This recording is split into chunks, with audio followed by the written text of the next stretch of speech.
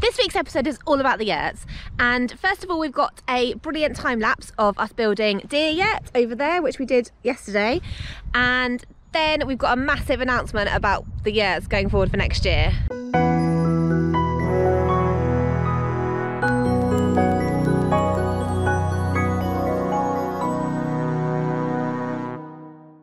So now onto our time lapse of the yurt build.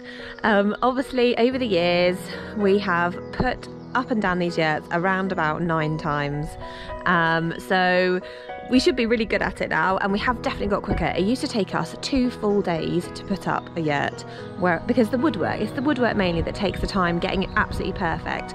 But now we've kind of got it down, we can get it up we can get it up in about five hours, which has made such a difference to the stress levels.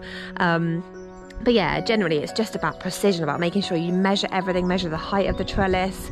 Um, and once you've got the woodwork up, then it's just a case of getting all the covers round and getting the cover on and then eventually getting the wood burner in. Our yurts come from a company called Mongolian Yurts Direct. You can see it there.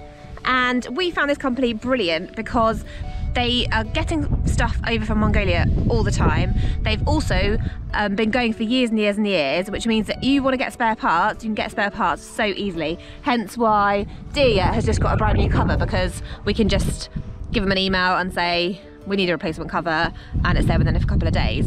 So any replacements we need are so easy to get we actually went down to the showroom um, in 2017 um, to suss out and just have a look at a yurt. I don't know why we went with the yurts, but we did. And um, guests have absolutely loved them. But on to the big announcement. Unfortunately, we have decided that 2022 is going to be the last year that we have yurts.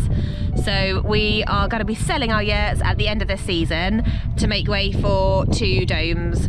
Mainly because of the having to take them down, store them for the winter and put them back up again. Um, it would just mean our life will be a lot easier with having the domes up and just left up all year round. So that is I'm afraid what is going to happen. I will be really sad because yeah it's kind of started it all for us. We bought our first yurt in 2015 when we started the afternoon tea so we had um, our little red yurt which was literally impossible to put up. I bought that off eBay for a couple of grand and um, we just you know I don't know why we didn't learn then to be honest that we struggled putting them up but for anyone who buys them now we know exactly what we're doing, we'd be able to give a bit more comprehensive instruction and help them out because we've learned so much over the last six years of putting yurts up and down. Um, so yeah, it's sad and I'm going to be really sad about New Holland Yurt because this was my baby when we first started the glamping site. Um, I absolutely love this yurt and I think it's so beautiful inside and it does have such a cosy feeling to it. Um, Obviously, Deer Yurt, the green one, was the one that Brian designed, so that's kind of his baby, so he feels more strongly about that yurt. But unfortunately, it's just time that, you know, the glamping site is moving on and um, the domes are just working really well for us and we're finding that they're getting more booked up than the yurts are.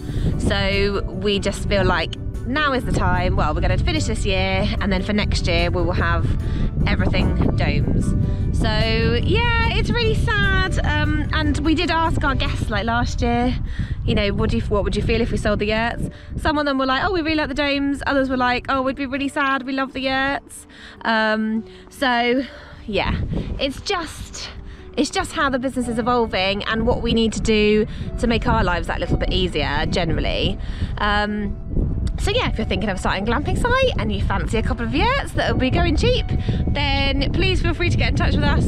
Um, anybody that buys them, we would be happily to help take them down, talk it through how we build them, all that sort of stuff. So yeah, this is not an advert by the way, it's just really letting you guys know that if you want to stay in our yurts, this year is the last year you can come and stay in them. So that was our big announcement about the yurts. Um, let us know what you think do you prefer the yurts? Do you prefer the domes? We would love to know what your favourite structure is. And our next video will probably be about our new wildlife pond that we've been building because that's been quite fun. Um, also, we just want to do a massive thank you because we've just reached 7,000 subscribers. So we're so happy about that. Thank you to everyone that subscribes to the channel. And hopefully we will see you on our next adventure.